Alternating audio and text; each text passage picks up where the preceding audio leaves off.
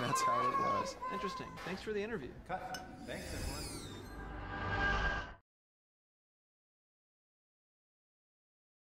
Hi, I'm Matt with Sound Devices, and I'm here with a Red Epic and a Pix 240, and I want to show you a neat feature we've put into the 240.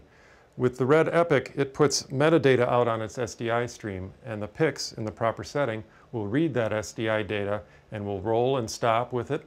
We'll read timecode as well as file name metadata. It's pretty easy to set up. First thing you need to do is go into the menu, in our file storage menu, and for the file name format, we select red file format.